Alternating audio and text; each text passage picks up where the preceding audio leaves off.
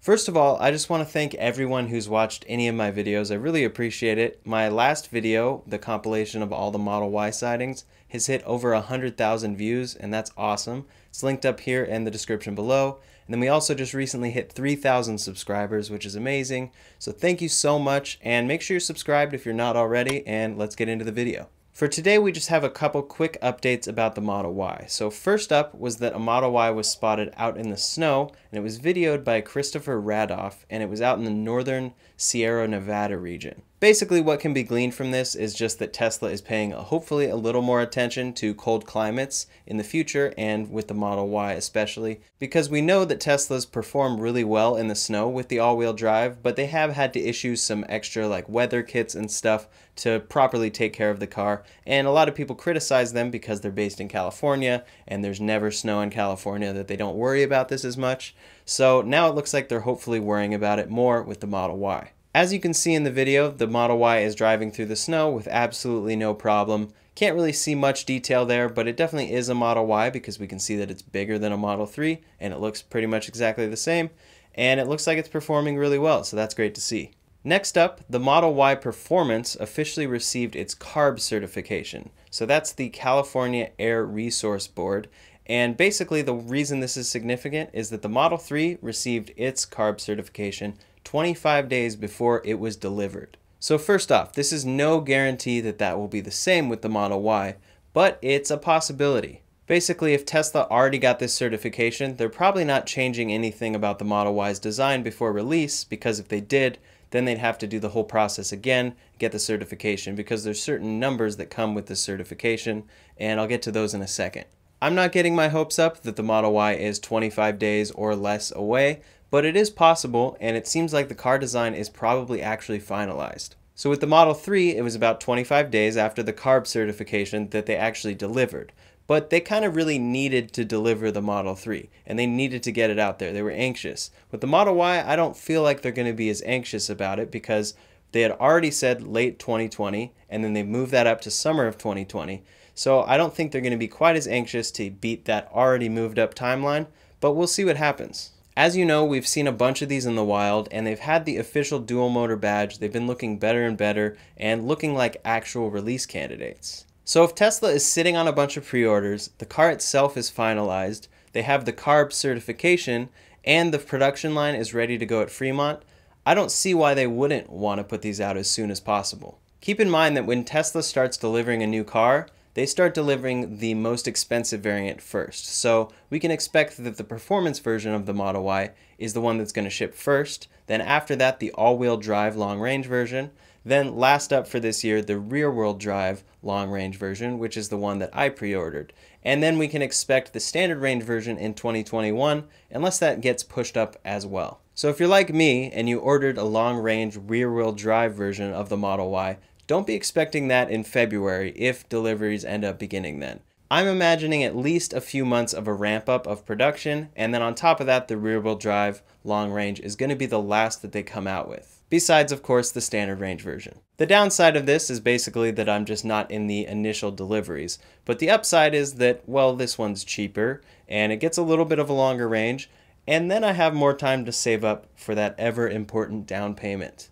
The other aspect of the CARB certification is sort of confirming something that I've said in my other videos. So Tesla lists the long-range rear-wheel drive at 300 miles and the all-wheel drive and performance versions at 280 miles of range. And I've said before that I think these are going to increase before it gets released, and it looks like this is getting confirmed, or at least there's evidence to confirm that it's going to improve before it comes out. Real quick aside that I want to mention that I didn't mention in the rest of the video is that Tesla actually officially launched their Model Y program in China at their Shanghai factory, Gigafactory 3. And so this is exciting because this means that they're going to be bringing the Model 3 and the Model Y to China.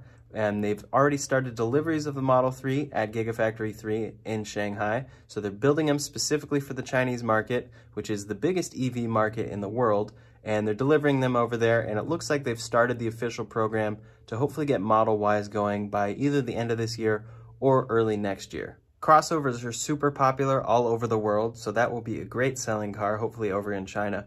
But keep in mind, I want to clarify that the made in China Model Ys are not going to be in the US. Those are delivered specifically to the Chinese market. So when you see people say Model Y will be built in China, that is true, but it will also be built in the US at the Fremont factory. And when you buy in the US, you're going to be getting one from the Fremont factory, built in the USA. Don't worry, it's not made in China. Even though the quality is great at Gigafactory 3 from everything we've heard, you don't have to worry. It's built in the US. And I just want to clarify that because a lot of people say, oh, it's being built in China. Why would I want to buy a non-US car from a non-US company, even though Tesla is a US company and your Model Y would be built in the USA? All right, back to the rest of the video.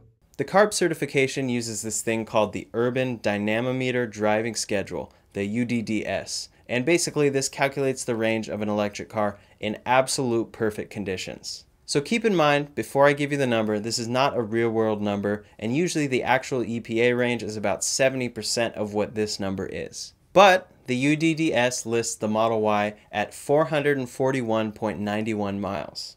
So if we do some math based on how that UDDS number translates for the Model 3 with the performance version, we could see that this range could be about 309 miles in an EPA estimated range. So that's almost the same 310 miles that is in the Model 3. So if we take into account the fact that the Model Y is about 10% larger and that it's overall a heavier car, I'm guessing maybe about 300 miles of range, which is already a 20 mile increase, which is really great. It's great to see any increase here because for a $61,000 starting price for the performance version of the Model Y, a 280 mile range is a little bit low. So even if we see 290 miles, that'll be great since actual usable range ends up being a little bit lower than what the EPA estimated range is. So maybe if it's 290 or 300 EPA, then we can actually see 280 miles of usable range. Then for the long range rear wheel drive, which starts at $48,000, and that's the one that I ordered, and it's the cheapest one available for pre-order, at least until the standard range comes out next year. If we do similar calculations with that, we're looking at probably 320 miles of an EPA estimated range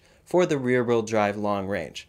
And again, the top range of the Model 3, even though it's not a perfect comparison because it's an all wheel drive compared to a rear wheel drive, the top range of the Model 3 is 322 miles. So that's only 2 miles less for the rear wheel drive in the Model Y.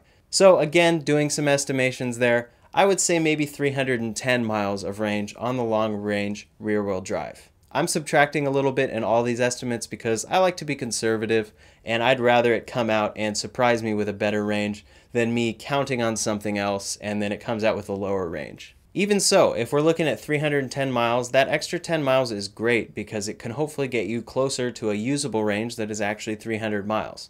And these all go in line with stuff I've said before because the Model 3's range has increased based on software since the Model Y was announced, and it's built on the same platform, and Tesla hasn't given us any updates whatsoever about the Model Y since the announcement event. So it makes sense, since they're going to be using the same software, that we could see that same increase on the Model Y, and it looks like this CARB certification is further evidence that it'll have better range. So is it possible that we will see the Model Y delivered in February? Yeah, it is. It's very possible. I'm not totally counting on it, and I'm not going to say expect the Model Y next month, but it's definitely possible, and if they're sitting on these cars, I don't see why they wouldn't start delivering them. But keep in mind, it's going to be the performance version first, so if you're like me and you got the long range rear wheel drive or even the all wheel drive, you're going to have to wait a little bit after the performance ones get first delivered. But if you ordered a performance Model Y, you're hopefully going to get it really soon. And definitely let me know when you get that. I'm super excited to see that car. And then is it possible that the range will be increased? I think it absolutely is, based on the software evidence of the Model 3 increasing and then this new evidence from the CARB certification, I think we can expect an extra 10 to 20 miles on each version of the car. I'm going to be conservative and just count on 10, so 310 miles of range on the long range rear wheel drive puts it right in line with the Model 3 where it's currently at. And that's a great increase. Even just 10 miles extra on each version is really great, getting the long range rear wheel drive up to 310 miles in the Model Y. So what do you think the final ranges of the Model Y will be? And do you think we'll see deliveries in February? Let me know in the comments below. I'd love to hear from you. And once again, I'd like to thank my 3,000 subscribers and every single person that's watched any of my videos. I really, really appreciate it. And make sure you're subscribed if you're not already to stay up to date on all the videos I'm going to be bringing out about Tesla and specifically the Model Y, especially once I get that car, I'm going to be doing tons of videos with it. So stay tuned for those videos and thanks again for watching and I'll see you on the next video.